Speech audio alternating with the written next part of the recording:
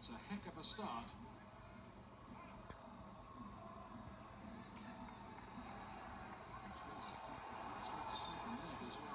just perfectly.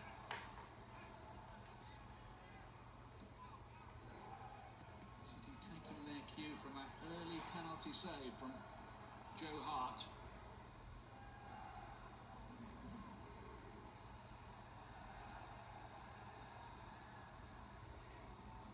Silva.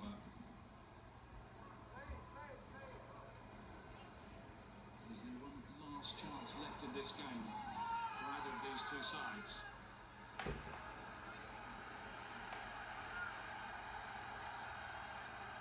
Papadouis is okay again on that uh, ankle that he injured in making the clearance.